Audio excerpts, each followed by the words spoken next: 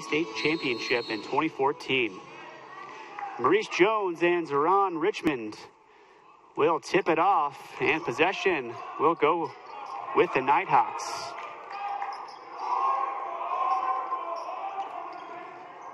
Nighthawks in their red away jerseys, jackets in their hometown gold uniforms.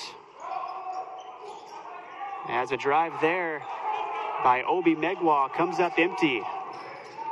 Sven Yoshida is going to pop a quick three, and it's good. Sven Yoshida starting off tonight for the Jackets with a three point shot. Good start for the Jackets. Long three by Khalil Thompson, and that's an answer.